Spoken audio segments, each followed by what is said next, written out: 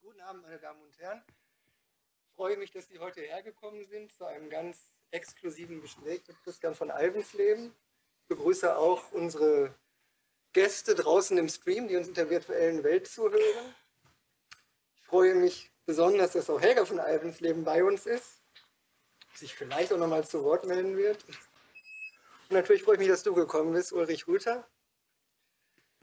Ja, Christian von Alvensleben ist für mich ein ganz besonderer Fotograf.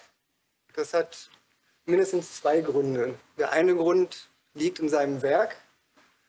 Es liegt aber auch, man könnte sagen, gewissermaßen in der Person. Nämlich insofern, als Christian von Alvensleben der erste Fotograf war, der sich 2012 entschlossen hat, unser gerade neu ins Leben gerufenes Label Archiv der Fotografen zu unterstützen und zu sagen, ja, ich gebe mein gesamtes Werk an die Deutsche Fotothek. Das hat uns natürlich enormen Auftrieb gegeben, das hatte Signalwirkung, viele andere sind gefolgt und insofern, Herr von Albensleben, gehören Sie zu den Urvätern des Archivs der Fotografen, so könnte man es formulieren, wenn man nicht auf das Alter abzielt. Aber was mich natürlich mindestens ebenso beeindruckt, ist tatsächlich das fotografische Werk und vor allem seine Vielseitigkeit. Also es ist wirklich äh, unglaublich. Man könnte sagen, er macht alles, aber vor allem er kann alles. Das ist das Faszinierende, dieses mühelose Wechseln zwischen angewandter und freier Fotografie, zwischen Werbung und Kunst, zwischen Mode und Kochkunst, zwischen im Grunde allen erdenklichen Themen. Ich will jetzt gar nicht alles vorwegnehmen, sondern Dazu werden wir mehr hören. Zu den Arbeiten, die mich gleich am Anfang 2012 am meisten beeindruckt haben, gehörte in der Tat von Beginn an diese Serie Meeresfrüchte, über die wir heute reden, weil sie einfach gleichermaßen schön ist und auch schrecklich, inhaltlich. Und das ist genau dieser Reiz, über den wir dann hoffentlich noch mehr erfahren werden. Das Rauskitzeln wird dankenswerterweise Ulrich Rüther übernehmen. Das war, als ich Christian von Alves eben fragte, mit wem können Sie sich denn ein Gespräch vorstellen, war die Antwort sofort Ulrich Rüther. Das freut mich schon deshalb, weil wir uns auch schon sehr lange kennen, aber auch, weil du natürlich das Werk sehr gut kennst seit vielen Jahren. Du bist freier Fotohistoriker in Hamburg tätig, du schreibst über Fotografie, du unterrichtest, du hast für verschiedenste Museen gearbeitet, unter anderem auch für die Stiftung Gundlach, unsere wichtige Partnerinstitution und du betreibst ein Büro für Fotofragen. Und das passt natürlich wie die Faust aufs Auge, denn heute bist du der Fragende. Und ich bin sehr gespannt auf die Fragen und auf die Antworten und wünsche Ihnen viel Vergnügen. Vielen Dank. Ja, vielen Dank, lieber Jens. Ja, danke. So. Ja, dann sage ich auch mal herzlich willkommen in die Runde hier in der Lounge und äh, wo auch immer jetzt zugeschaut wird. Ich bedanke mich auch für die Einladung, äh, freue mich auch sehr hier zu sein, freue mich auch mit Ihnen, lieber Christian von Alvensleben, nochmal ganz öffentlich offiziell zu sprechen. Das ist ja nicht das erste Mal, dass wir uns über Ihre Arbeiten unterhalten. Und was man vielleicht noch sagen muss, dass hier seit ähm, April, glaube ich, ähm, die Serie die Meeresfrüchte ausgestellt werden. Deshalb haben wir den Termin hier heute Abend auch in der Lounge direkt gemacht. Das heißt, man kann es jetzt ähm, kaum sehen. Ein Bild hängt hinter uns, aber insgesamt sind es, glaube ich, 15 Motive aus dieser 23-teiligen Serie, die hier schon ähm, ja vielleicht ihre Liebhaber gefunden haben und ähm, dass es eben ganz bestimmte Meeresfrüchte sind. Äh, das sieht man auf den ersten Blick. Es sind ähm, sehr besondere Stillleben, die hier zusammengestellt wurden und darüber wollen wir sprechen. Ähm, vor allen Dingen, wie ist die Idee dazu entstanden? Wie sind diese Bilder dann weiterentwickelt worden? Und ähm, natürlich auch, warum hängen sie jetzt hier? Also nochmal ein ganz großes Willkommen, lieber Christian von Alvensleben. Danke. Und ähm, ich hoffe, wir haben ein kurzweiliges Gespräch, das wir dann, äh, denke ich, auch äh, ab einem gewissen Moment dann öffnen, wenn sich ähm, aus dem Publikum noch weitere Fragen ergeben. Also es sind hier an der Wand oder an den Wänden 23 farbkräftige Stillleben zu sehen. Und es sind Objekte, die ähm, ganz ähm, präzise, prägnant, kostbar inszeniert sind, wie Sie das auch mit anderen Preziosen wahrscheinlich perfekt machen könnten. Nun ist auf den ersten oder auf den zweiten Blick dann doch relativ deutlich, es handelt sich eigentlich erst einmal um Müll, um fortgeworfenes und dann wieder angeschwemmtes. Wir müssten jetzt vielleicht noch mal an den Moment zurückgehen, wie diese Serie entstanden ist und wo diese Objekte sozusagen Ihnen entgegengeschwommen sind. Ja, also diese Objekte schwammen mir entgegen, die schwammen nicht entgegen, sondern ich bin drüber gefallen quasi in Rhodos auf der Insel in Griechenland, ähm, als wir an einen einsamen Strand kamen, an dem nicht aufgeräumt wird. Da war über eine Strecke von 100 Meter, 150 Meter Breite, ähm, ja, es, es, war alles Müll. Es ist angeschwemmter Müll. Und ähm, dann sagte meine Frau, erinnerst du dich, auf der Fähre war ein Schild oben an dem Schiff, da stand drauf, was äh, die Vereinten Nationen erlauben, wie man, also stand sozusagen, welchen Müll man in welchen Abständen entsorgen darf auf dem Meer. Kleine Teile bis zu drei Meilen, äh, mittelgroße Teile bis zu zehn Meilen und Kühlschränke ganz weit draußen. Und dann habe ich mir gesagt, ähm, okay, das ist äh, ein Ergebnis. Das andere Ergebnis, dann fiel uns ein, dass wir auf Zakynthos in Griechenland waren, Jahre vorher. Und wir sahen immer Lastwagen, die an uns vorbei durch die kleine Ortschaft fuhren, einen Hügel hinauf und kamen wieder zurück. Und äh, ich konnte aber nicht sehen, was sie transportieren. Wir sind ihnen gefolgt und oben an der Kante sahen wir, dass sie rückwärts an die Küste fuhren und den Müll, das war 88, 1988, den Müll rückwärts das Cliff runter ins Meer warfen. Und das sind so Erinnerungen, die dann in Rhodos einfach wieder auf mich äh, kamen. Und ähm, tja. Waren Sie in Rhodos ähm, einfach, um sich zu erholen oder haben Sie dort auch gearbeitet? Nein, wir, haben, oder? Wir, haben, wir haben in Rhodos gelebt, wir hatten ein kleines Haus dort und wir hatten überlegt, ob wir in Deutschland und in Griechenland arbeiten. Technisch war das problematisch, weil es dort keine Labore gab. Wir sind ja analoge Fotografen und ähm, ja, wir haben dann beschlossen, eigentlich nur dort zu bleiben, um die Insel zu erkunden. Und ich habe Olivenbäume fotografiert, die ältesten, die auch zusammen mit diesen Bildern ausgestellt wurden in Lübeck in der Kunsthalle St. Ann, wo Sie eine wunderbare Rede gehalten haben äh, mit FC Gundel. Das war, glaube ich, 2009.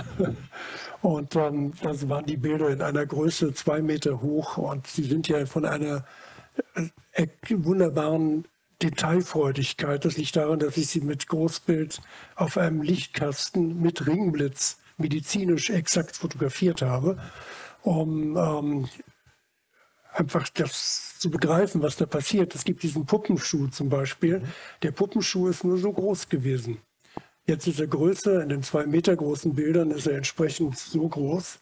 Und Sie sehen in dem Puppenschuh ähm, Organismen, weil der ein bisschen unter Wasser war, schon für einige Zeit, ich weiß nicht wie lange, ähm, Organismen, die sich dort gebildet haben, kleine Schnecken und äh, winzige äh, Tierchen, was weiß ich. Also es ist so. Und ich habe diese ähm, Teile so fotografiert, wie ich eigentlich ähm, auch ein Produkt, eine darf ich das im Fernsehen jetzt hier sagen, oder so eine Becksbierdose oder eine Coca-Cola-Flasche.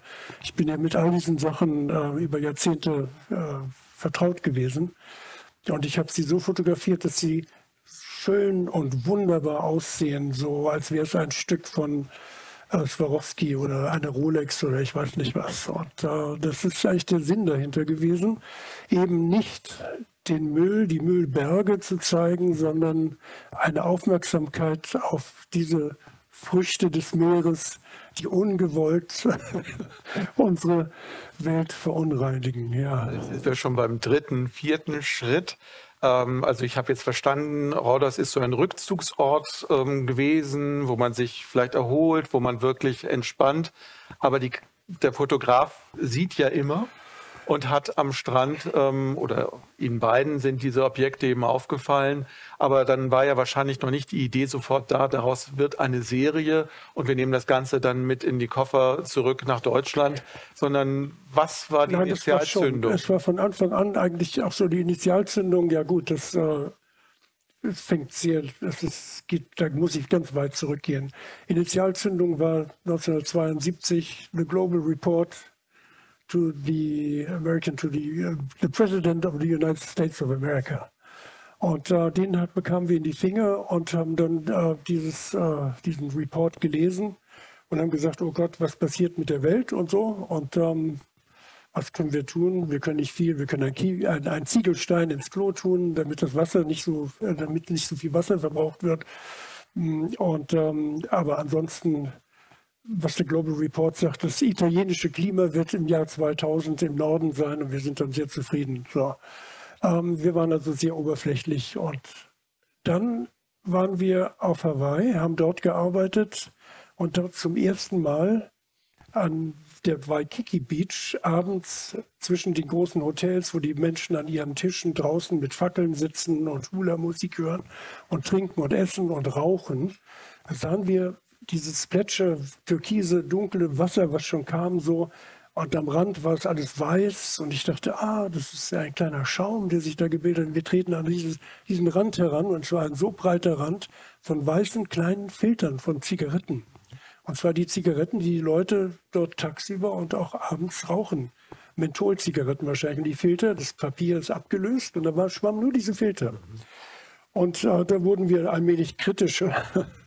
dann kam mir ein BSE und dann habe ich ja das apokalyptische Menü gemacht. Ähm, das hatte zu tun mit der Ver ähm, Wahrlosung eigentlich äh, all unserer Lebensmittel in der Herstellung. Und ähm, so hat sich das fortgesetzt und deshalb habe ich natürlich immer ein offenes, sehr offenes Auge ja. für solche Dinge. Und dann ja. macht es einfach nur so. Und dann, als wir das gesehen haben, haben wir gesagt, ähm, Helga nahm so ein, ähm, ein, ein, ein, eine, diese blaue Flasche zum Beispiel. Sie nahm diese blaue Flasche hoch.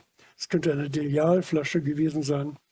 Und sie sagt, sie hat so was Kosmetisches und irgendwie ganz irre. Und äh, dann haben wir sie genau angeguckt und habe ich gesagt, ähm, dann fanden wir, wir nehmen die Sachen mit nach Hause und wir fotografieren sie im Studio und machen sie perfekt. Mhm. Also es waren zufällige Fundstücke, man kann das ja vielleicht noch mal erklären. Also das sind Reste eines Radios, sind Glas- und Holzstücke. Äh, vor allen Dingen, weil es ist eben Plastik oder man muss sagen Kunststoff ja eher. Plastiktüten, eine Wäscheklammer ist dabei, sehr bizarr. Ähm, es sind die Reste eines Arbeitshandschuhs, den man erkennen kann, ein Feuerzeug, auch speziell den Puppenschuh haben wir schon erwähnt. Ähm, dann äh, sehr künstlerisch sozusagen die Reste einer Luftmatratze, die ich von hier erkennen kann. Und ganz besonders ist eben der Flipflop. Äh, und das Netz. Und das Netz, das genau. Netz. Ähm, was wirklich diese sehr bizarre Form hat. Und wir sind natürlich heute in einem anderen Bewusstsein. Wir reden über die Dinge anders. Wir wissen, dass diese ähm, Stoffe eben hunderte von Jahren brauchen, bis sie sich zersetzen. Auch eben Zigarettenfilter gehören ja auch dazu, die eben auch überall zu finden sind mittlerweile, die eben lange, lange ähm, brauchen, bis sie sich dann komplett ähm, aufgelöst haben oder kaum aufgelöst haben. Und ähm, dieses Bewusstsein, das sich in den 70er Jahren dann bei Ihnen eingestellt hat, ist natürlich auch ganz spannend, dann nochmal ähm, zusammenzubringen mit äh, der Tätigkeit, eben genau Mentholzigaretten auch in die perfekte Form zu bringen, zu fotografieren. Natürlich, und ja. In diesem Widerspruch dann einfach auch zu leben. Wie ja, haben Sie das ja. damals schon bemerkt und ausgehalten? Ähm, ja, ich äh, bin ehrlich, ich war sehr blind äh, zwischendurch und ähm, kann man jetzt rückblicken, muss ich das sagen, muss ich das zugeben.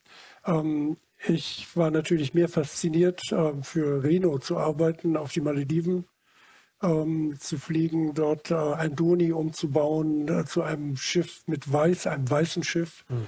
mit einem weißen Segel, was wir aus Bettlaken gemacht haben und dort zwei Wochen lang herrliche Fotos zu machen. Und ähm, das ist im Nachhinein natürlich schon ein Problem, aber es ist ähm, ich habe immer versucht, also in, äh, ja, in diesem Fall es ist eine Katastrophe. Aber ich habe doch versucht, in meiner Arbeit innerhalb der Werbung nicht alles zu machen. Ich war nicht käuflich in dem Sinne. Also ich habe, äh, als ich für De Beers ähm, Platin fotografieren sollte, ich dachte, oh, wir haben jetzt ein neues Produkt. Platin können Sie einen schönen diesen Ring fotografieren. Und ähm, Sie müssen sich vorstellen, der ist so kostbar, da werden eine Million Kubikmeter Erde bewegt, um an dieses kleine Platinstück zu kommen, um daraus diesen Ring zu machen. Da habe ich gesagt, das mache ich nicht. Ja, warum machen Sie das? Können Sie sich doch nicht erlauben. Ich sage doch, ich erlaube mir alles. Also das, äh, das mache ich nicht, weil ich finde das obszön. So. Aber daraufhin habe ich für die BS nie wieder gearbeitet. Also das sind so, aber das war, das war dann vorbei. So, das ist egal. Nicht? Also. Ich glaube, das ist jetzt auch ein Moment, wo wir vielleicht ja. auch äh, noch mal ganz kurz, also wirklich kurz, äh, ja. äh, die Biografie Revue passieren lassen, weil, glaube ich, nicht allen klar ist, wie sie sozusagen an den Punkt gekommen sind, für diese Unternehmen, für diese Auftraggeber diese Punkte zu machen. Vielleicht kann ich das kurz übernehmen und Sie noch mal ja. kurz vorstellen. Also Christoph von Alvensleben 1941 in München geboren, sehr früh sich dann auch der Fotografie ähm, verschrieben ähm, die frühesten Aufnahmen, das sind auch schon spannende Serien, die sie ähm, dann mit einer Kodak-Box schon gemacht haben.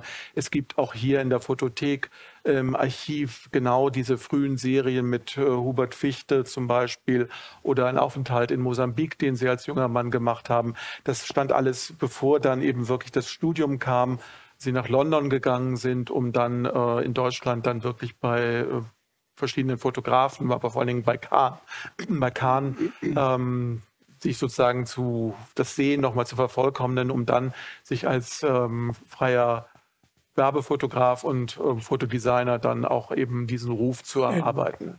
In, in Hamburg. In Hamburg, dann, in genau. Ja. Also heute leben Sie in Bad Oldesloe, ähm, als immer noch norddeutsch geprägt, aber alles Hamburg. Alles Hamburg, Metropolregion, wie das so schön heißt. Ähm, aber sie sind natürlich äh, in ihrer Zeit als aktiver Werbefotograf durch die ganze Zeit gechattet, geflogen. Sie waren wahrscheinlich mehr unterwegs, als dass sie ähm, tatsächlich ähm, vor Ort waren. Und deshalb ja. können wir vielleicht von da aus nochmal den Bogen zurück ähm, zur Insel, Insel Rhodos machen. Das war dann irgendwann auch ein Rückzugsgebiet. Und mit diesem Wissen des vielen Reisens und eben auch ähm, dem Präsentieren, ich sag mal, von Konsumgütern und wirklich in perfekter Form Dinge ähm, für Magazine, für Zeitschriften, für Kampagnen einzurichten, äh, ist dann um, um 2003, glaube ich, haben sie mit dieser Serie begonnen, vielleicht so ein Umdenken ja. dann auch passiert. Ich meine, die frühesten Dinge haben Sie ja gerade äh, berichtet, waren schon in den 70er Jahren sozusagen auch das über Nachdenken. Aber ist das sozusagen auch eine Serie, mit der Sie dann anfangen, vielleicht das, was Sie ähm, in den Jahrzehnten vorher alles aufgenommen haben, nochmal anders verstehen wollen, auch für sich? Ja, das habe ich aber auch dann vor diesem Zeitpunkt bereits so verstanden. Also ähm, man wird ja älter und man lernt dazu und ähm, macht sich mehr Gedanken und wird vorsichtiger und geht zarter mit Sachen um. Und das ist äh, das war nicht unbedingt der Wendepunkt. Also der Wendepunkt war schon das apokalyptische Menü. Mhm. Wir können natürlich auch über das apokalyptische ja, Menü ja, nochmal sprechen. Das kann jetzt natürlich gezeigt werden, aber. man kann es dann ja äh, in der Fotothek, in der Fotothek kann man im sehen, Archiv ja. sind die Bilder ja, alle drin. Ähm, das ist tatsächlich äh, auch ein großformatiges Mappenwerk äh, in Schwarz-Weiß, ja. auch in einer bestimmten Technik. Auch das äh, ist da vielleicht ein Thema, über das wir noch sprechen können, wie bestimmte Serien in eine Form gebracht werden, ja. welche besonderen äh, technischen Mittel sie da verwenden. Ähm, wie kam es zum apokalyptischen Menü 1992? Ja, ich ähm, hatte Bevor, das war kurz bevor BSE passierte, war ich in Italien, habe ähm, bei einem Fotografen Marchesi für Time Life ähm, sollte ich eine Reportage machen über seine Küche, über sein Zuhause, über seine Familie. Habe auch fotografiert, war mit ihm sehr eng zusammen. Äh, er sagte zu mir, ach, ich muss jetzt in die Mailänder Skala morgen. Und ich habe hier eine Menükarte schon vorbereitet. Seit Wochen arbeite ich daran. Dort sind irgendwelche Dante-Festspiele. Und äh, da mache ich ein großes Menü, passend zu Dante, natürlich ein apokalyptisches Menü.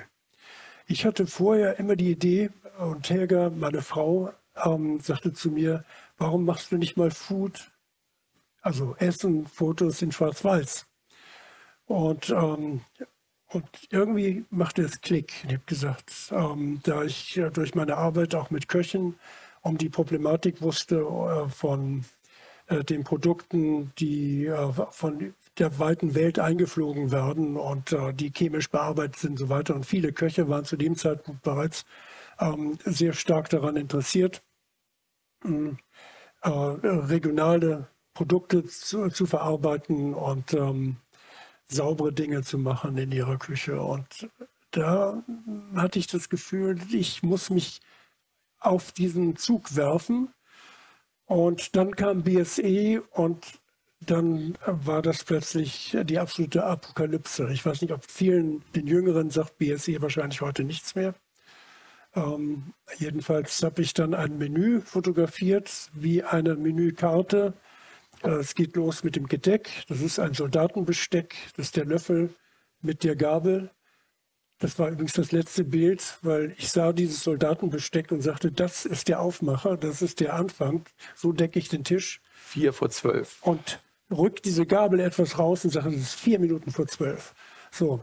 Und dann geht es los mit dem Wasser, mit äh, Wein, mit Brot und bis zum genau. Nachtisch. Brot, Wasser, ja. Wein, Muscheln und Krebse. Ja, Muscheln, das sind die Muscheln und Schalen, Krebse und genau. Schalentiere. Ich, habe es extra notiert. Das Massengrab, genau das Massengrab der Schalentiere nannte ich das. Ja. Und äh, ich habe einen, einen Kalbskopf, den hat mir ein Koch aus Bayern geschickt. Ein abgetrennter Kalbskopf, der kam gekühlt bei mir im Studio an und ich habe ihn auf Sackleinen, auf ganz einfachen, groben Sackleinen fotografiert, so wie das Sackleinen bei der Pest in Wien, in dem die Menschen eingeschlagen wurden, mit Kalk beworfen, in Massengräber kamen.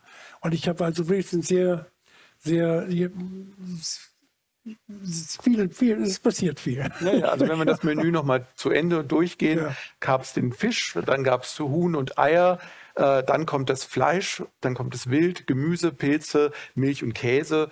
Also wir sind da schon am Ende und dann am ganz zum Schluss ähm, das Obst. Das Obst. Und Ein da ist Plastikäpfel. Genau, das äh, ist natürlich auch böse, ist ein böser Kommentar, weil es eben schwarz-weiß ist und man ja. würde ja eigentlich immer sozusagen. Man sieht nur die Naht des Plastiks. Genau. Hatte meine Frau sagte zu mir, wir arbeiten so eng zusammen, ähm, dass also viele Ideen sowieso auch von hier kommen. Also es ist nicht, ich bin. Nein, also wir sind wir sind ein Team, nicht? Eigentlich sitzen und, die ganze ähm, Zeit ja, hier auch zwischen uns. ja, ja. Äh, und ähm, sie sagte, warum nimmst du nicht Plastikäpfel? Ja. Und es gibt so diese dekorativen Deko Dekoräpfel für das Schaufenster. Nicht? Also jetzt ist Frühling, oder jetzt ist Herbst, meine ich. Da wird also künstliches Herbstlaub in die äh, Warenhausfenster getan, da werden Äpfel reingestreut und für sich natürlich Plastikäpfel. Hat man das damals verstanden, was Sie da äh, gezeigt haben? Ich meine, es ist ja. Ja, Sie haben es verstanden. Und zwar, hm, ich glaube schon, weil ähm, das ist auch äh, außerhalb Europa, äh, außerhalb Deutschlands, also in Europa, in Frankreich. FNAC hat das in Paris ausgestellt. Und die FNAC-Leute sagten, wir haben, ich weiß nicht, äh, Helge, wie viele Besucher? Äh, viele. Äh, viele, Tausende, zigtausende, ja, Hunderttausende. Ja. Dann in Bordeaux, ähm, in der, ähm, wie, wie, heißt es, ähm, Goethe-Institut in Bordeaux. Dann ähm, habe ich es ausgestellt, war es der einzige deutsche Beitrag bei der ähm, Biennale della Fotografia Italiana ähm, in, in Sparta, Aqua Sparta, in Turin und in äh, Milano. Man kann diese Serie aber eben auch 30 Jahre später ohne Probleme zeigen, weil das einfach ja. bis heute ja ganz aktuelle ja. Probleme sind. Ja. Die Verschwendung von Lebensmitteln, die Missachtung der äh, Produkte, ähm, aber das eben in ganz feinem Schwarz-Weiß und mit einer besonderen Technik ja auch aufgenommen. Ja. Ja, ich habe die fotografiert mit einer, ich habe eine, jetzt heute nicht mehr, aber ich hatte so, ich habe noch eine Kamera, aber es gibt das Material nicht mehr. Es gab äh, die Polaroids zum Abziehen. Da hattest du das Polaroid und da hattest du ein Negativ. Das konntest du äh, fixieren, ein bisschen wässern und so schön vorsichtig trocknen. Und das konntest du als Negativ benutzen. Hatte an den Rändern natürlich so diese ganzen Reste, diese Haptik äh, des Papiers, des Polaroids. Und äh, das kommt natürlich mit aufs Bild, weil das ist so ein Stück Zeitgeschichte der Fotografie, auch äh, was das Material und die Technik angeht.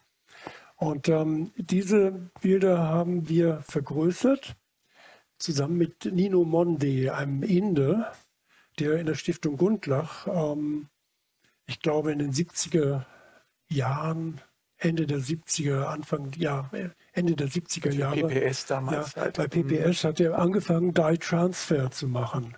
Das heißt, ähm, es wird ein Schwarz, selbst ein Schwarz-Weiß-Foto wird gedruckt mit, in diesem Fall das apokalyptische Menü, mit 15 Matrizen.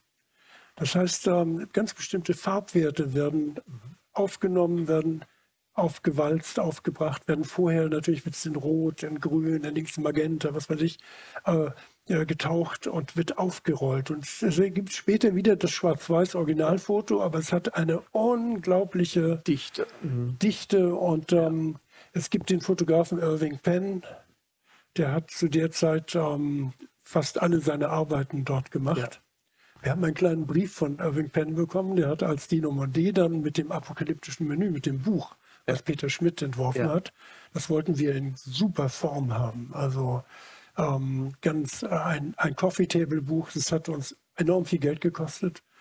Hm, äh, wir haben es selbst bezahlt. Der Verleger hat gesagt, ähm, dafür muss ich 200, 300 Euro nehmen. Wir haben gesagt, nein, 128 äh, D-Mark. 128 D-Mark, das ist das Gericht bei Scherrer oder sonst wo, bei einem Drei-Sterne-Koch heute mit Wein und so weiter. Und so viel darf es nur kosten. Den Rest haben wir bezahlt. Naja, das Ganze ist ja ein ganz strenges also Konzept. Hat, auch, also, ja, wir genau, uns machen, ja. Solche Sachen haben uns immer Spaß gemacht. Ja. ja. So, und dieses Buch ähm, äh, hat Penn gesehen und hatte uns einen kleinen Brief geschrieben und sagte, es, er wäre sehr dankbar, dass er dies gesehen hat jetzt. Er kennt Dino, er kennt die Arbeit, er kennt die Technik. Aber erst, ich, wir geben ihm eine Idee auch für seine Arbeit in Zukunft. Und das ist natürlich ein großes, großes Lob, kann es nicht geben. Natürlich, ich meine, wir ja, sind mittendrin ja. in den analogen ja. Zeiten, noch weit entfernt jetzt eben von den äh, Meeresfrüchten, zu denen wir ja immer wieder auch zurückkommen. Aber äh, was eben, glaube ich, beim apokalyptischen Menü so wichtig ist, dass es eine ganz klare konzeptuelle Arbeit ist, dass man oder Sie sich äh, auch gemeinsam sozusagen ganz klar überlegt haben, wie bringen wir die Bilder in eine Form. Also diese Zwölfzahl, also da ist man natürlich 13. beim ja, mit dem, ja, ja, aber äh, zwölf Essensbilder und das ja, erste ist sozusagen das genau. Auftaktbild. Ja. Also ähm, eigentlich sind es zwölf Menübilder, Zwölfzahl mhm. ähm, Abendmahl oder Kreuzweg, ja. man kann sich überlegen, was man das doch, haben wir nicht dabei bedacht. Also, und dann eben das äh, Auftaktbild mhm. äh, ganz am Anfang. Äh, heute würde man sagen, es ist fünf nach zwölf wahrscheinlich und äh, man könnte aber die Mahnung, die diese Serie zeigt, ja bis heute ist aktuell geblieben. Ja, natürlich. Absolut aktuell geblieben. Und ähm, als das Buch äh, entworfen wurde von Peter Schmidt, äh, es gab junge Artdirektoren, die ganz toll in, in, in, in, äh, in Grafik waren, in Schriften, eigene Schriften entwerfen wollten. Und es gab damals auch Hagen Death, zum ersten Mal dieses Eiscreme, das amerikanische. Und die hatten eine Werbung mit einer ganz neuen Typografie, mit großen, kleinen Buchstaben. Und sie sagten zu mir, das müssen wir machen. Ich sagte, nein, bitte nicht. Macht es so klassisch, dass dieses Buch auch in 20, 30, 40 Jahren immer noch einfach ein klassisches Buch ist. Eine klassische Typografie und so weiter. Und so ist es dann auch gewesen. Nicht? Und ähm, naja, hat so. eine Auflage von 1000 Stück gehabt, was ja Stück, irre ja. viel ist, heutzutage würde man sagen. Ja. Damals ähm, waren natürlich noch ganz andere Auflagen auf dem ja. Buchmarkt möglich. Aber es ist eben ein besonderes Buch, das eben heute auch eben einen ganz besonderen Wert wahrscheinlich hat. Oder gibt es noch Stapel im Keller bei Ihnen? Haben Sie davon noch Exemplare? Äh, wir haben wie viel? Ich weiß nicht, nicht viel. Also es ist ein, ein, ein gefragtes Sammlerstück auf jeden Fall. Ja. Ja. Gehen wir nochmal zurück zu den Meeresfrüchten. Jetzt haben wir sozusagen einen langen Vorlauf äh, gehabt, ähm, weil da würde es mich dann auch nochmal interessieren, wie dann der Weg von dem Fundstück am Strand zum Bild an der Wand war. Ähm, also man hat sich dann gemeinsam geeinigt, guck mal, was ich hier gefunden habe. Das ist doch auch irgendwie sehr schillernd, sehr ja, besonders. Ja. Und dann wurde das irgendwie zur Seite gelegt, mit in den ja. Koffer gepackt. Ja. Und dann begann die eigentliche Arbeit. Dann begann die Arbeit. Ähm, war eigentlich keine Arbeit, das ist absolute Routine gewesen weil wir wussten genau, und ich wusste genau, wie ich sie belichte und äh, ablichte. Und dann sind wir mit den Aufnahmen, äh, das sind ähm, Dias gewesen, 4x5 Inch oder äh, nochmal 12. Und ähm, sind wir nach Berlin gefahren zu Recom. Recom, äh, äh, eigentlich erst nach Stuttgart. Äh, Recom ist jetzt erst in Berlin seit ein paar Jahren. Die machen für Groski und all diese berühmten Fotografen diese wunderbaren großen Bilder. Die drucken und äh, bearbeiten digital alles, was es überhaupt gibt und so weiter. Aber Thomas Saalfrank, ein Freund von uns, ähm, äh, der fand die Aufnahmen faszinierend und er sagte, wir setzen uns an den Bildschirm, wir vergrößern sie so, dass wir sie auf äh, Barita ausdrucken können. Und wir haben sie deshalb dann in diesen riesigen Größen ausgedruckt. Und ähm, ich finde es heute ganz interessant, es hier auf diesem ähm, äh, Hanemühlen in Matten zu sehen. Ähm, die Originale haben ein bisschen so einen Glanz, weil sie Barita annähernd an Fotografie sein sollen. Und ähm, haben auch eine Faszination, spiegeln allerdings ein bisschen und so weiter. Äh, haben eine andere Haptik, aber vielleicht auch eine unehrliche Haptik für mich heute, weil es ja wirklich kein echtes Fotopapier ist. Deshalb finde ich dieses wiederum im Moment besser das Matte, weil das kein Vertun und es ist, wie es ist. So, ja. Aber die Bilder leben natürlich auch von dieser unglaublichen Strahlkraft der Farben. Und ja, ähm, ja. wie ist das erzeugt? Das muss ich noch mal ein bisschen so hinter das die Kulissen nicht erzeugt, gucken. Die Farben sind so. Das mhm. einfach durch das Licht, aber natürlich. Ähm, durch das Licht und äh, durch das Material. Mhm. Und ähm, wie sind sozusagen die. Also der EPR ähm, äh, von, von, ich habe meine ähm, äh, meine 4x5 Inch, nenne ich sie immer, ähm, meine Planfilme habe ich in großen Mengen gekauft. Ich hatte, sag mal, vielleicht äh, 200, 300 Pakete immer im Block. Habe vorher diese äh, Nummer, die diese Filme haben, die Fabrikationsnummern, ähm, habe ich getestet, die neuen, die es gab. Und habe sie mit meinem Labor, mit dem ich sehr exakt arbeite oder gearbeitet mhm. habe, habe das ausgetestet und wenn die super neutral waren, dann war das meine Emulsion. Was ich äh, meistens gemacht habe, das ist vielleicht für die alten Hasen der Fotografie, dass ich ja die, ähm, äh, die immer ein Tick, eine Viertel, Drittel Blende unterbelichtet habe und wir haben sie dann gepusht etwas. Und dadurch kamen eigentlich die dunklen Werte gleich, aber das weiß wurde weißer, es wurde alles sauberer. Also aber die Objekte lagen. Eine, eine, eine Klinikentwicklung nennt ja. das so. Aber nochmal äh, zum Herstellungsverfahren: Die Objekte lagen auf dem Leuchtkasten oder das Licht kommt auch von unten? Oder? Das kommt von unten, ja. ja das, das, ist, also, genau. das ist wie ein Leuchtkasten. Ja. Das ist ein Blitzkasten. Mhm. Ich hatte große Lichtwannen, Bläsing-Geräte, die konnte ich runterfahren. Ja, die Objekte waren ja zum Teil auch groß. Also man brauchte da ja, auch äh, Beispiel, viel Platz. Ne? Ja klar, so ein Fischernetz oder eine, eine, halbe Luftmatratze ist ja auch groß. Also, ja, aber Sie haben sich dann sofort dafür entschieden, die Objekte dann in dieser Serie gleich zu genau. So. Ja, der kleine Puppenschuh wird groß, die Luftmatratze genau, wird alles klein. Gleich. Es muss alles in das gleiche Format passen, ja. Mhm. Sind alles eben Weil alles hat die gleiche Wichtigkeit und ja. die gleiche Bedeutung im Unglück. Ja, und alles braucht eben hunderte von Jahren, bis ja. es sich äh, allmählich zersetzt ja, hat. Und äh, die Serie ist ja auch schon an vielen Orten gezeigt worden. Hier hat es natürlich in der ähm, Kantine oder hier im Café hat es natürlich nochmal eine besondere Bedeutung, wenn man über Fluti di Mare nachdenkt und spricht. Aber ich erinnere mich, in Zingst waren die Bilder zum Beispiel groß äh, am Strand zu ja, sehen. Das war äh, interessant, weil äh, in Zingst, ähm, das war, glaube ich, das zweite oder dritte ähm, Umweltfestival in Zingst. Das war Klaus Tietke, der äh, sagte, also du musst unbedingt diese Sachen hierher bringen. Und da habe ich gesagt, ich zeige sie nur, wenn wir sie am Meer zeigen, direkt am Wasser. Und da gab es große Probleme, ähm, auch mit Stralsund, mit dem Meeresinstitut und mit den Umweltleuten dort. Sagte, wir können am Meer doch keine Pfähle und so und nichts.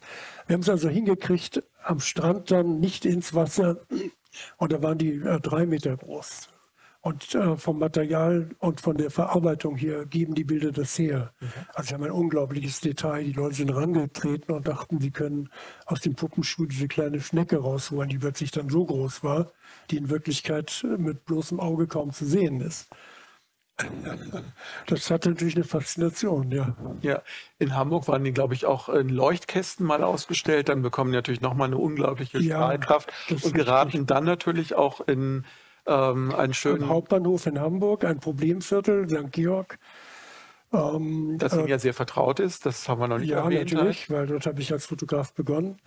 Und ähm, äh, das beim Museum für Kunst und Gewerbe war auch in der Nähe, weil die Leute das gesponsert haben und das gerne haben wollten. Und das war ganz schön. Da gibt es Bilder, die haben wir dann mit der kleinen Kamera gemacht. Schnee treiben, die Möwen fliegen über eine weiße, äh, matschige, zum Teil ähm, irre Gegend und knallbunt sind diese von innen beleuchteten Kästen dort. Sehr verführerisch.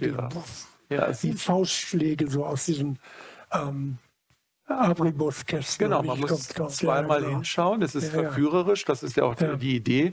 Und das Spannende ist ja, dass diese Leuchtkästen dann sich in Konkurrenz setzen zu den, in Anführungszeichen, normalen ja. Werbeleuchtkästen, wo dann eben die Konsumprodukte wieder gezeigt werden. Genau. Und der Besucher dann wirklich ins Nachdenken und ins Straucheln kommt, was er das, eigentlich sieht. Das war eigentlich der Witz an der Geschichte, dass ähm, ich habe mal für CD fotografiert eine Seife, die ins Wasser fällt. Die fällt ins Wasser und die ist halb drin und das Wasser spritzt hoch. Das geht natürlich nicht. Wenn ich eine Seife fallen lasse, dann ist sie weg und dann macht es einmal hinterher blub. Also habe ich ein, eine Technik gemacht, das ist umgekehrt und so weiter. Und das war mein erstes Abribus, war eines der ersten in Hamburg, weiß ich noch. Und äh, das hatte ich dann auch in Erinnerung. Diese goldene CD-Seife, das Wasser, was so frisch rausspritzt, das war, wann war das ja? Ende der 70er, Anfang der 80er, das ist hier lange her. Und das war natürlich auch die Idee, jetzt die Ausstellung in Hamburg ja. in diesen Leuchtkästen zu machen, ja klar. Ja. Also um jetzt vielleicht auch nochmal die Serie ähm, abschließend zu, ähm, vorzustellen, das ist ja dann doch eine sehr ähm, kunstvolle Form, ähm, die minderwertigsten Produkte nochmal ins Bewusstsein der Leute äh, zu rücken, der Betrachter und Betrachterinnen. Also es ist tatsächlich sozusagen ein zeitgenössisches Memento Mori, was sie dort inszenieren. Ähm, eine moderne Variante von Endlichkeit. Und ähm, das ist natürlich das Spannende, dass sie da nicht äh, als großer Mahner und Aktivist auftreten, sondern mit den Mitteln, äh, die sie über Jahrzehnte halt trainiert haben, nochmal ganz andere ähm, Sensibilisierungen hervortasten. Und ich glaube, das gelingt auch hier ähm, in der Lounge, dass man eben, wenn man hier seine Pizza oder seine Nudeln isst, ähm, vielleicht auch nochmal anders über das nachdenkt, was man hinterlässt. Naja, das äh, okay, mag so sein. ich denke, dass man als Student hier in der Lounge ähm, eher an seine Arbeiten denkt und seine Noten oder sonst etwas. Müssten wir die ähm, Besucher hier fragen. Aber das Gute ist, dass die Lounge, ich habe schon gesehen, dass es hier kein Coffee to go gibt und äh, diese, na gut. Ja. Ist die Serie abgeschlossen oder äh, sammeln Sie noch weiter? Nein, die ist abgeschlossen, ja. Weil das Kapitel Rodders auch abgeschlossen ist? Nein, ähm, das ist es nicht. Also mh, hm,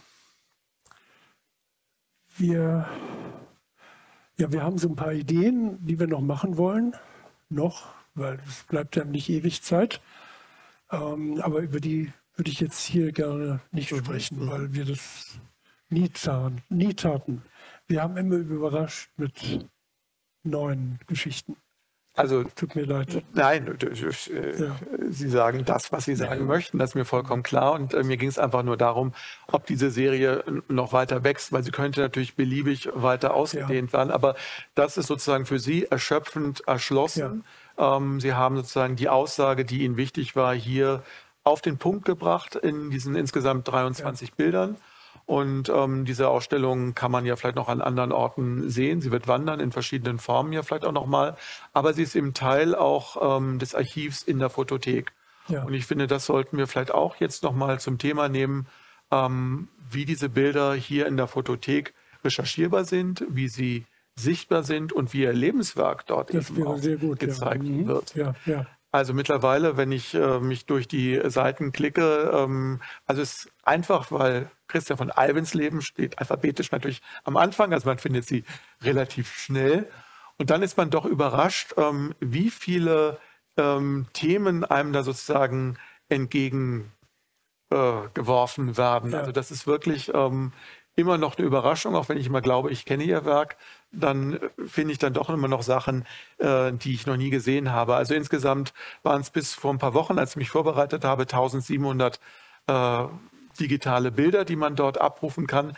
Mittlerweile ist es verdoppelt, wie ich jetzt genau. erfahren habe. Ja, ja, ähm, ja. Tatsächlich alle Serien, die man sich vorstellen kann, also über die wir auch gesprochen haben, das apokalyptische Menü, die Götterbäume sind dabei, aber eben auch viele Serien, an die sich vielleicht einige ähm, Fotokundige ja auch erinnern, ähm, also die frühen Sachen, ob nun ähm, die Spur des Leoparden in Mosambik oder Hubert Fichte, Mont Justine, Albert Camus, also die äh, Serien aus den 60er, 70er Jahren, aber dann eben auch äh, People, Fashion, wie das alles so schön heißt, ja. die Sachen, die sie eben auch äh, über Jahre immer wieder in sehr präzise Bilder gebracht haben, bis hin eben zu äh, ganz äh, aktuellen Serien. Ja. Was also eine aktuelle Serie, die wir äh, zum Beispiel hatten, die eigentlich noch gar nicht groß gezeigt wurde. Wir haben ähm, am Wendekreis des Krebses sozusagen, das ist ähm, Lanzarote, Fuerteventura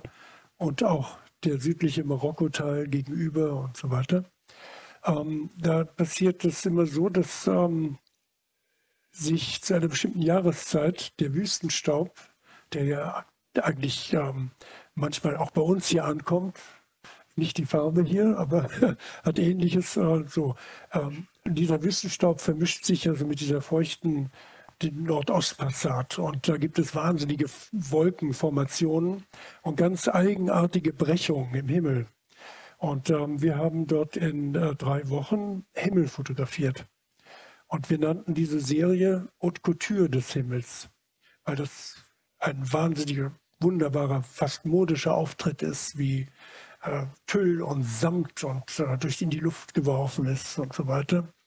Und diese Bilder haben wir, weil wir auch mit ähm, der ESA, mit einem Herrn Verbindung hatten, und der gerade der Herr Gerst oben war, in der ISS, haben wir natürlich jedes Bild betitelt mit einem Raumfahrtprogramm der NASA oder auch der ESA. Und das haben wir in Hamburg ausgestellt ist meine Stimme nicht, höre ich nicht mehr. Ist das Mikrofon aus? Ist was passiert? Nein? Ich glaube, es geht. Alles immer. gut, ja, okay, Entschuldigung, ja. Und ähm, das haben wir einmal in Hamburg nur ausgestellt mhm. und ähm, auch sehr toll präsentiert. Davon gibt es nur einen Abzug pro Bild. Ja, also hier eben. Also das heißt, ähm, wir, wir machen das auch so, dass wir äh, auch von diesen Bildern von den Originalen, den großen, gibt es nur zwei Abzüge. Ja. Also, oder das von den Wellen auch. Und die sind fast alle in alle Welt verstreut, die Wellen. Das hat das Wasser so an sich. Und das ist sowieso klar, dass man halt äh, in die Museen, in die Orte, in die Galerien gehen muss, um die Originale zu sehen und ja, ein ja. Bild auf dem Bildschirm, den man sich zu Hause abruft, ja, das aber, ersetzen Aber diese kann. Wolkengeschichte ist einfach, das ist, ähm, äh, Gerst sagte oben von seiner Raumstation aus, wenn ich runtergucke auf die Erde und ich sehe nur diesen dünnen Vorhang von Wolken und diese, diesen dünnen Streifen Atmosphäre, es ist unglaublich, sagt er, wie furchtbar das ist, äh, was da passiert, wie schnell das weg sein kann. Und, ähm, und das war, das lief irgendwie parallel in unseren Köpfen. Ich kenne ihn überhaupt nicht persönlich, ich habe das nur dann gehört, wie er das sagte. Aber das war bei uns auch so, dass wir uns sagten, die, die Himmel zu zeigen bedeutet, ähm, den Menschen zu sagen, wir kennen alle Wolken und Sonnenuntergänge, aber wir sollten häufiger nach oben gucken und dann wieder nach unten. Und äh, heute Morgen habe ich zu meiner Frau gesagt, ähm, es ist so, dass wir ähm, Menschen immer gegenseitige Feinde sind. Deshalb gibt es Kriege. Wir bekriegen uns immer und vergessen dabei, dass wir uns selbst die ganze Zeit schon bekriegen. Wir sind unser größter Feind. Das ist äh, ein Resümee für heute Abend. Wir sind aber noch nicht am Ende, äh, hoffe ich jedenfalls. Ähm, Wäre das ein Traum für Sie, auch mal sozusagen um die Erde herumzufliegen und äh, einen nochmal distanzierteren Blick zu bekommen? Nein, das können. muss ich nicht. Also ich glaube, die Aufnahmen, die die Jungs dort oben machen, die sind schon Also Sie sehr eindrucksvoll. Das- haben aber, glaube ich, auch die gesamte Welt auch, gesehen. halt. ja, Sie waren, ja. glaube ich, fast überall. Wir Oder waren fast überall und ähm, äh, es gibt vielleicht noch so ja die Erlebnisse, die man als Fotograf hat mit seinen Bildern. Mm, Es gibt ähm, die Geschichte über die North American Native, äh, Natives, also North American Indians, aber heute sagt man äh, die American äh, Native Americans. Und ähm, da war ich sieben Wochen von Upstate New York bis nach äh, New Mexico nur mit Indianern zusammen. Ich sage jetzt Indianer, weil die haben nichts dagegen. Also so. Ähm, und äh, wir haben einmal nur bei einem McDonald's gegessen, weil wir, ich sagte, ich möchte jetzt mal sehen, wie das ist, wie, wie ist das jetzt im McDonald's für euch und so. Sind wir reingegangen, haben alle nur gelacht und haben Sie einen McDonald's gegessen, sind wieder rausgegangen. haben und haben Sie es fotografiert? Nein, habe ich nicht. Das war, Das, das, gelingt? das war, die Indianer haben einen unglaublichen Humor, die Ja. Nordamerikaner. Es ist unglaublich. Ja. Also man muss sich vorstellen, man fährt mit einem 18-Jährigen ähm, in, in, in, in South Dakota zum Flughafen, ähm, will ihn morgens um fünf in den Flieger bringen, man hat noch Zeit, geht in die Cafeteria, so wie hier vielleicht, und äh, man bestellt sich ein Frühstück. Und dann kommt der Waiter und bringt einen Kaffee und irgendwas zu essen für den Journalisten und mir. Dem Indianer bringt er nichts. Und dann sagt der Indianer, what about me? We don't serve Indians. Dann sagt er, I didn't order an Indian, I ordered a hamburger. und äh, das sind nur solche Sachen. Also, okay. ähm, und da habe ich äh, für eine Zeitung fotografiert, ähm, die Akwesasne Notes. Ähm, äh, die wurde von Johnny Mohawk gemacht, der bei, den, äh, bei der Washington Post früher gearbeitet hat.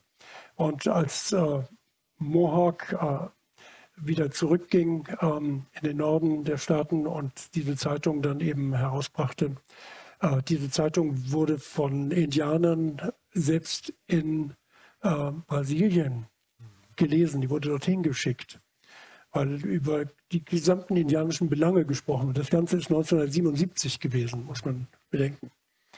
Und da ist das tollste Erlebnis, ich habe diesen Rüdiger Neberg, der nicht mehr lebt, der ja immer wie ein Verrückter durch die Welt zu Fuß und mit dem Schiff oder was weiß ich und auch bei den Nanoyami war, der kam zurück und ich traf ihn und er sagte, ich habe ein Foto von Ihnen gesehen. Ich sage, wie denn? Ja, da war in dem großen Haus ein riesiger Baumstamm in der Mitte, der das Dach trägt und da waren alle Indianer dort und ich war auch dort und dann sah ich, da war eine Fotografie oder irgendetwas an diesem großen Stamm und da bin ich rangetreten, habe gesehen, das ist ja das Foto, was Sie gemacht haben vom ältesten Rat der Hopis. Das war ein Centerfold, also eine Doppelseite aus dieser Akwesasne Notes. Das war wie eine Tageszeitung. Und da habe ich gesagt, toll. Meine schönste Veröffentlichung. Aber es hat nie dazu geführt oder ähm, gab es diese Überlegung auch mal sozusagen dann, ich will nicht sagen, die Seite zu wechseln, aber dann eben zu sagen, ich werde jetzt doch deutlich ähm, sozusagen als bildjournalistischer, äh, denkender Fotograf auch äh, mit einem größeren Interesse, ähm, also politisch-gesellschaftlich äh, zu arbeiten. Das haben wir im Laufe der Zeit tatsächlich auch so gemacht. Also es gab äh, viele Dinge, die wir dann nicht mehr angenommen haben. Ähm, das hieß ja auch immer, Albens Leben ist ähm, sehr schwierig, weil ich eben schwierig war für viele. Er ist sehr teuer. Ich war sehr teuer, weil ich gut. Und die Leute sagten dann, aber er ist sehr gut. Das ist ein Prädikat, da habe ich gesagt, okay, damit kann ich leben. Aber ähm, nein, wir haben, wir sind schon in der Auswahl der Kunden immer strenger geworden im Laufe der Zeit. Ja. Je mehr unser Bewusstsein Ja. wuchs, das ist ganz klar. Und wir haben dann ähm, 2005, 2006 haben wir gesagt, jetzt ist Schluss. Und äh, ich habe äh, noch Jahre später von BASF oder von irgendwelchen großen Unternehmungen Unternehmen fragen gekriegt, können Sie nicht zumindest einen Geschäftsreport, den Vorstand fotografieren und vielleicht eine Reportage über das Werk machen? Oder Keine unmoralischen gesagt, nein, Angebote. wir haben gesagt, jetzt Schluss, es ist Schluss, Ja. war ein Schlussstrich. Ja. Ein paar Jahre später rief der Stern noch an und sagte, ach, kannst du noch mal eine Food-Seite oder nicht? Nein. Wir haben ein neues Kapitel aufgeschlagen, ein neues Leben.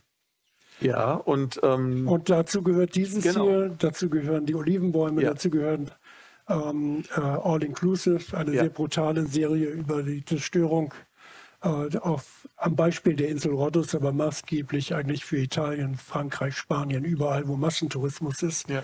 Zerstörung äh, der, der, der, der sozialen Werte, der, der, der, der Kulturen und so weiter. Ja. die Serie Archaik könnte man dann auch noch dazu bringen, Archaik ganz stark natürlich. Porträt arbeitet. Ja, also man erkennt auch bei diesen freien Serien, die eben Großer Nachholbedarf.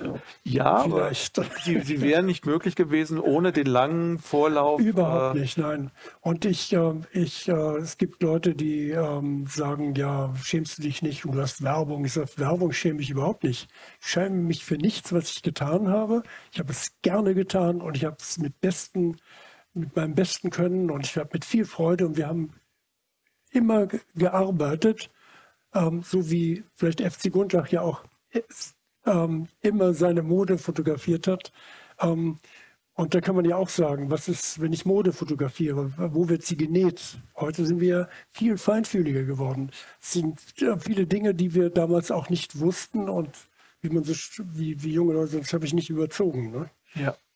Und umso spannender ist ja jetzt natürlich das Gesamtwerk ähm, jetzt in der Fotothek im Schaufenster sozusagen ist sich jetzt- anzuschauen, weil wenn man sich da durchklickt, ähm, bleibt man immer wieder auch genau an diesen frühen Sachen hängen. Das Ja. kann man jetzt vielleicht nochmal kurz Ja. nacharbeiten. Also es sind jetzt eben mittlerweile äh, nicht nur 1700 ähm, Bilder aus verschiedensten Serien, sondern eben auch nochmal 1700 äh, Bilder aus dem Werbebereich, Belege, ähm, die jetzt äh, auch sozusagen einsehbar sind.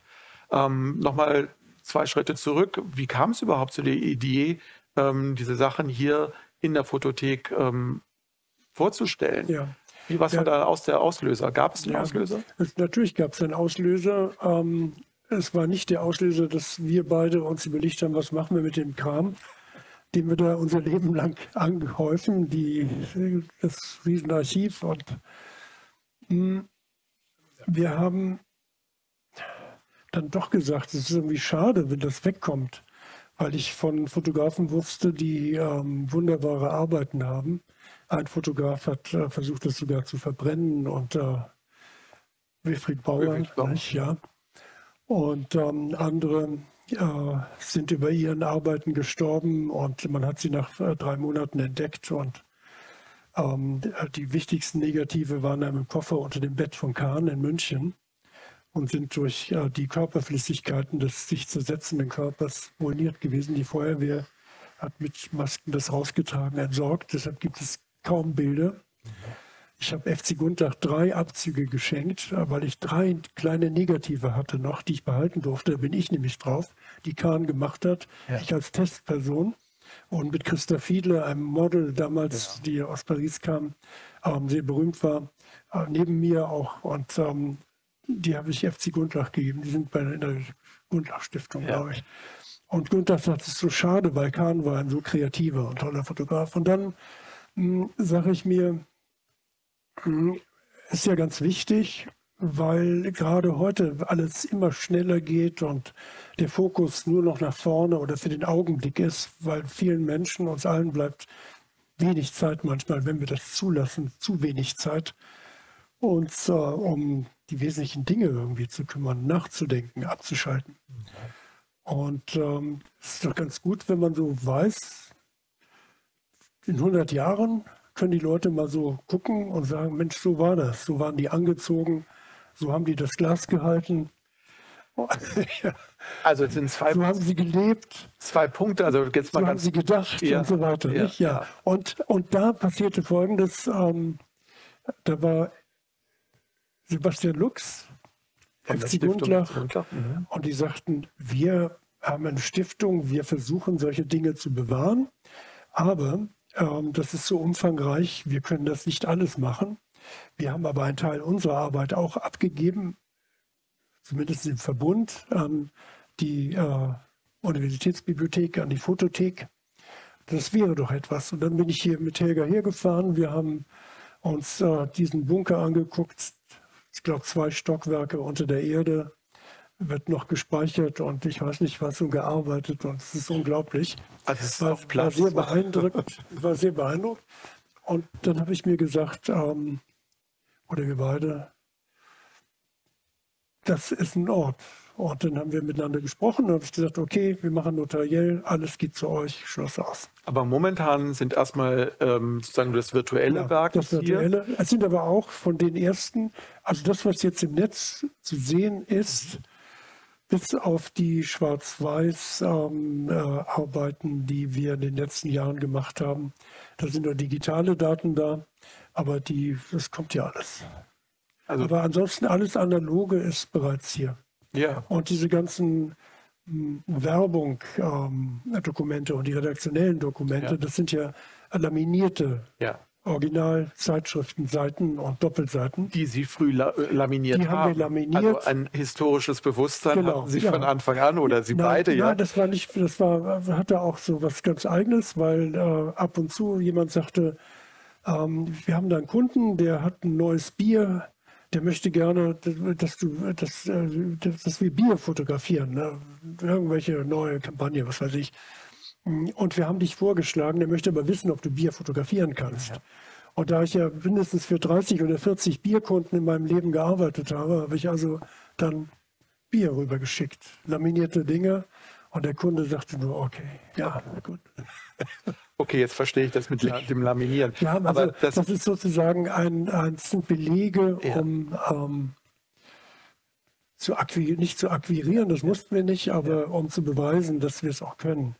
Also das Spannende ist wirklich, wenn man äh, durch dieses Archiv virtuell jetzt durchgeht, das ist natürlich ein westdeutscher Blick, muss man auch sagen. Das ist sozusagen die Konsum. Äh, Welt Absolut. aus Westdeutschland. Das ist, das ist hochinteressant insofern. Und äh, ich, äh, ich, äh, ich denke, es gibt sicher auch ein, ähm, ein vergleichbares Objekt der DDR-Zeit. Das wäre sehr schön, weil das alles zusammen natürlich ein, Aber das Spannende ist ja wirklich, wir haben Ja. eine Kulturgeschichte der Ja, 70er, 80er, 90er Jahre. Ja. Und ähm, was man auch ja eben feststellt, dass manchmal eben genau diese hochgradig inszenierte Form der Werbefotografie viel mehr über eine Gesellschaft und über einen bestimmten Zeitgeist aussagt, Das- als jeder, jede bildjournalistische ähm, Ja. Reportage. Ja, klar, also das richtig. sieht man natürlich richtig. heute, mit unserem heutigen Blick ist das halt spannend, dass man Ja. halt einfach nochmal die Wünsche und Träume vielleicht viel eher nochmal versteht, die sozusagen auch durch diese Fotografie nochmal angeregt wurden, aber dann eben durch ihre Fotografie auch befriedigt wurde. Ähm, es war natürlich immer ein, eine, eine, eine Sehnsuchtsfotografie. Ja, ja, das ist es sicher. Aber ich weiß nicht, nicht für mich unbedingt eine Sehnsucht. Ja, Sie haben, müssen das ja schon verstanden haben, was, ja, äh, ja. also was, Ich- was man triggern muss, um Ich, ich habe in einem, ich habe äh, gesagt, und das ist so ein, so, ein, so, ein, so ein Satz, den ich gerne sage, ähm, wir freuen uns, dass mit unserer Arbeit auch in 100 Jahren ein Fenster in die Vergangenheit geöffnet bleibt. Nicht nur mit unserer, jetzt auf die äh, Photothek bezogen, mit der gesamten Arbeit, die Sie hier von Fotografen äh, schon haben und auch noch hoffentlich bekommen werden. Nicht?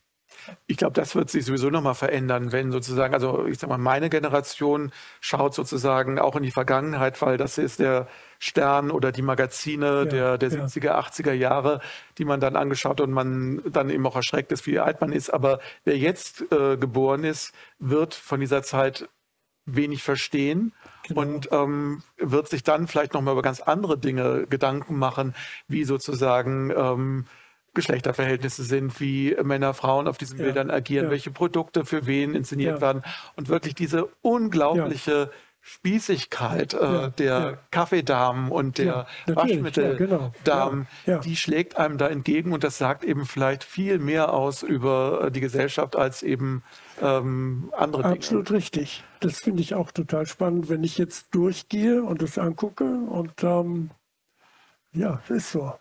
Toll. Ja.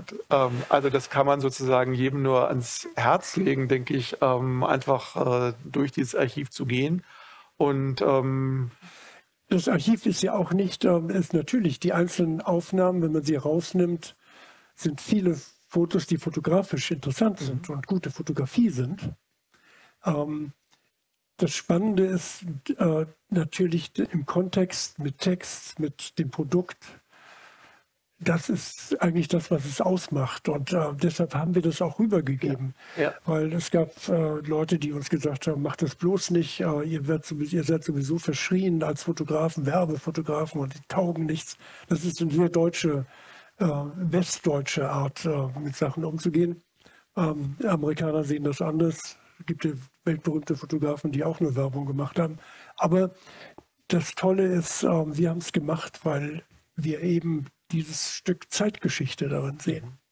Und die Möglichkeit, die Zeit zu analysieren. Und ähm, das ist genau das. Das ist auch spannend. Ich meine, die das wollten wir der Fotothek ja. nicht vorenthalten. Nein. Und den Leuten, die sie besuchen vielleicht und sehen wollen. Und danach kommen oder wie auch immer, ja. Genau, also ja, klar. Vielleicht, äh, um jetzt äh, das rund zu bekommen, ganz am Anfang, das hätte ich eigentlich äh, bei der Vorstellung in der Biografie schon sagen wollen, dieses äh, auch dieses Zucken, wenn man sie als Werbefotograf vorstellt, ist natürlich aber bedingt durch ähm, eine sehr eindimensionale Sicht darauf. Ja, und äh, ja, dann klar. haben sie immer gesagt, dass sie sich als eigener Kunde immer äh, verstanden habe, haben, der eben unabhängig von Erwartungen seiner Auftraggeber für jedes seiner Produkte einen neuen Look entwickelt hat. Ja. Ähm, und das ist dann eben egal, ob freie Arbeit oder eben als genau. Aufnahme. Aber es hat natürlich eine ganz andere Zeitbezogenheit. Also ja. natürlich bei den Werbeaufnahmen sehen wir dann immer äh, Jakobs äh, Krönung oder natürlich, andere Dinge. Ja, und bei der Serie, die wir hier sehen, haben wir eben diese unglaubliche Zeitlosigkeit. Dieses äh, Motiv des äh, Zivilisationsmülls das wird uns ja auch in Zukunft nochmal ganz anders ja. beschäftigen. Also die schweben hier drinnen im Raum, mhm. die schweben im Wasser so. zeitlos, haltlos. Nein, und es wird natürlich äh, immer dichter, es wird immer mehr geben. Ja, ich äh, hoffe nicht. Also ich denke, es wird schon weniger geben. Es wird auch schon weniger. Also Sie haben Hoffnung. Ja, doch, doch, doch. Also ähm, selbst in, in, als wir in Griechenland waren, ähm, äh, haben wir einem Griechen, guten Freunden gesagt, guck mal, der ganze Müll, der auf den Straßen hier liegt, warum sammelt ihr das nicht ein? Ihr könnt das recyceln, da könnt ihr Geld verdienen. Sagt ja, als Christian, ein Griech, fasst doch keinen Müll an.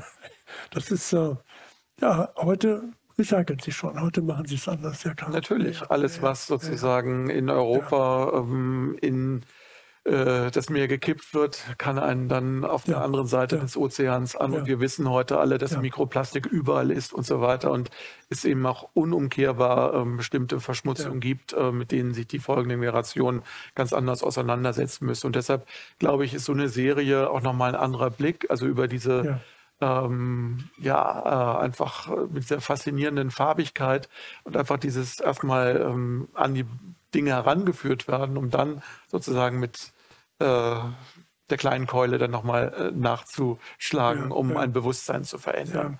Und das ist, glaube ich, ähm, sehr gut gelungen. Danke. Ja, das heißt, an diesem Punkt können wir, glaube ich, ähm, hoffen, dass vielleicht noch weitere Serien ähm, sichtbar werden, öffentlich sichtbar werden.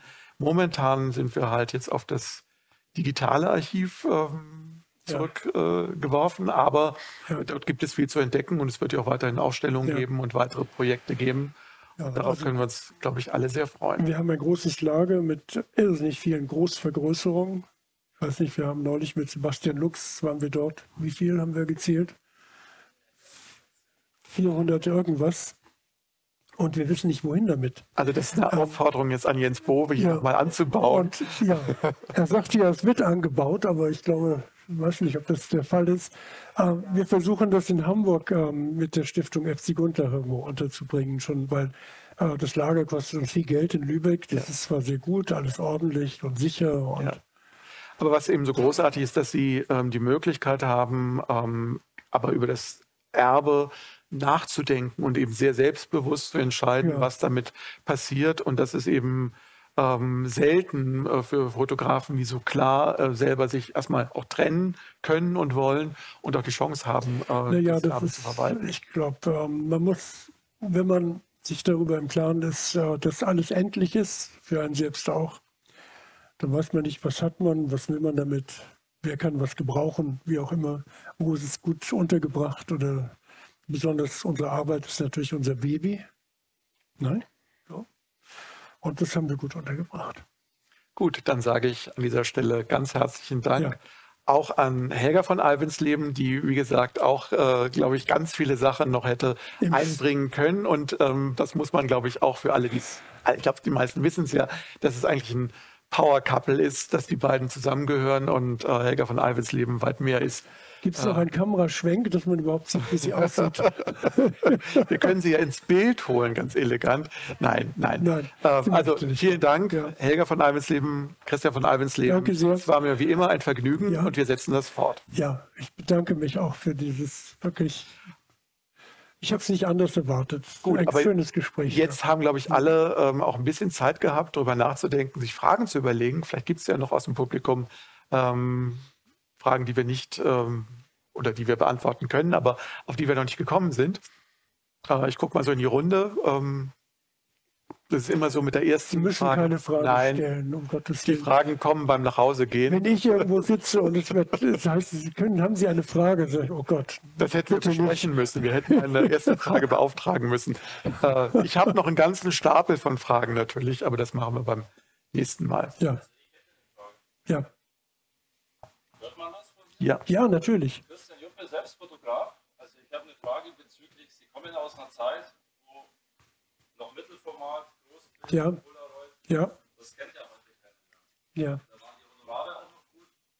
Was sehen Sie denn? Waren sehr gut. Wie sehen Sie denn die Fotografie heute? Ähm, das Inflationäre, dass jeder kann fotografieren, die Preise sind gesunken, die Honorare sind gesunken. Ja, ist eine Katastrophe. Eine Katastrophe und zwar für ähm, eigentlich ist es ein Ergebnis, wir hatten in den, ja, das war im Museum Volkwang, war mal eine Ausstellung Werbung. Da waren Hans Hansen, Reinhard Wolf, ähm, von mir arbeiten und ein Professor Schmalriede, ich weiß nicht, ob er irgendwie irgendjemand noch geläufig ist, ähm, der war, ich weiß nicht, in welcher Uni, äh, kann ich jetzt auch, Ulm, aus Ulm kam er, genau. Und äh, der Schmalriede sagte, äh, es ist so, wir haben an unserer Hochschule unwahrscheinliche Anfragen. Jeder möchte Fotografie machen. Und wir haben, wenn wir davon ausgehen, dass wir 1000 Fotografen in Deutschland in Hochschulen ausbilden, also im Design, in den Designklassen oder wie auch immer, äh, schaffen es drei. Was macht der Rest, sagt er. Ich kann zurückblickend nur sagen, dass jedes Jahr höchstens drei irgendwo beruflich das überhaupt machen können. Entweder arbeiten sie dann festangestellt beim Spiegel oder sie sind freie Reporter oder sie machen, äh, arbeiten als ähm, Assistenten in einem Großstudio, in dem Werbefotografie oder äh, Neckermann-Studios, was weiß ich. Ganz wenige ähm, arbeiten als Assistenten bei Leuten wie bei mir. Ich hatte, glaube ich, über 40 Assistenten in meiner Laufbahn. Und ähm, da kann ich auch sagen, es gibt eigentlich von diesen 40 Assistenten gibt es nur drei, die übrig geblieben sind. Das ist, äh, ähm, äh, wer ist das? Das ist Olaf Tamm. Er war nicht der Assistent bei mhm. mir, aber einen, einen kannte ich sehr gut, äh, Olaf Tamm, aber ist äh, ein Fotograf. Aber der, dem geht es, also wie allen anderen ja. heute, nicht gut. Naja, Weil wir sprechen hier Sie, über die. Sie haben einen, einen wunderbaren Blick. Sie, Sie, Sie, Sie, Sie, Sie machen eigene Arbeiten, eigene Themen verfolgen Sie. Und wenn man sie sieht und wenn Sie die Möglichkeit haben, sie auszustellen, das ist hinreißend und ich bewundere das, finde es ganz toll. Ja. Also, ja. Nein, das ist äh, ganz schwierig geworden. Es gibt zu viele Fotografen. Es gibt die digitalen Spielräume, haben alles geöffnet. Ähm, das Handy hat alles zerrissen.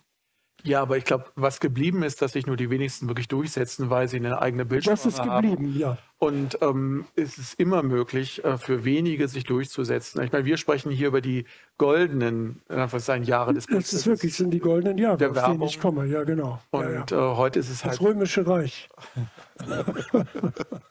die Dekadenz. Der Fotografie, die Dekadenz, natürlich. Ja. Ich glaube, die Frage können wir dann aber natürlich nicht erschöpfend beantworten. Nein. Was soll ich sagen? Also ich habe versucht, lange Zeit noch ähm, auch ähm, äh, mit äh, Film zu arbeiten. Und dann wurde ich mal gefragt, Mensch, äh, können Sie mal sagen, was ist für Sie der Unterschied zwischen digitaler Fotografie und ähm, analoger Fotografie? Und ich habe auch eine Digitalkamera schon gehabt. Da habe ich gesagt, finden Sie, Digitalkamera, äh, digitale Fotografie ist so, es gibt den Punkt A nach B. Ich setze mich in mein Auto. Das Auto ist ein Audi A8, air conditioned. Ich fahre durch diese Wüste. Es ist kühl, ich bin schnell da. Analog. Ich setze mich auf ein Motorrad. Ich fahre die Nebenstrecke. Ich fahre über die Hügel. Ich fahre, es regnet. Es ist heiß. Es ist Staub ich muss mal anhalten, irgendwas, denkst so, ich komme an, aber ich fühle mich viel besser. das habe ich so erzählt. Und ähm, ähm, nun heute ist es schon schwierig geworden mit dem Analogen. Und ich versuche aber, wenn ich ähm, digital arbeite, was ich auch Studenten aus Warschau in Zingst übrigens gesagt habe, ähm, die meine Arbeiten dort sahen und die sagten, ja Mensch, wir kommen aus einer Hochschule und wir arbeiten äh, und jeden Tag haben wir ein neues Thema und äh, dann fangen wir an und dann versuche ich da die Bilder zu verändern und so weiter. Ich sage, weißt du was, es ist egal, ob du mit Film oder digital arbeitest, mach dein Foto, tu so, als wäre es nur ein Film. Mach das Foto gleich richtig, dass es so bleiben kann, auch digital so bleiben kann. Dann hast du erstmal dein Basisfoto und dann bist du Fotograf. Alles andere ist Grafik, das ist Arbeit, das ist äh, Computerarbeit, das ist Design, das ist was anderes. So. Und ähm, ich glaube, ein, zwei Leute sagten, da hast du recht. Ich glaube, das lassen wir jetzt mal. Wir versuchen sauber und ehrlich einfach nur ein Bild zu machen. Und was würden Sie Studenten sagen, wie sie ihre eigene Bildsprache finden sollen? Weil das ist ja das Entscheidende, dass man sich sozusagen abhebt, dass man sozusagen wiedererkennbar wird, dass man sozusagen ähm, etwas Eigenes produziert. Gibt es da noch einen Tipp? Ich glaube, die lassen sich erstens gar nichts mehr sagen. Haben Sie sich was sagen lassen? Nee, auch nicht. Vielleicht ist das gut an den Studenten dass sie sich nichts sagen lassen. Ich glaube, nein, nein das, das, wäre schwierig. Also ich wüsste nicht, wie ich sie belehren sollte. Also ich würde nur sagen, ähm, macht das, was ihr seht. Und wenn ihr auf dem Bild das habt, was ihr gesehen habt und das immer noch wiederfindet, dann ist das schon mal gut. So. Ja, dann haben Sie nichts falsch gemacht. Nee, genau. Ja. Gut, dann lassen wir das so stehen. Vielen Dank. Okay. ja, vielen Dank. Jo. Danke. Ja. Gut, jetzt machen wir so. Jetzt mache ich erstmal.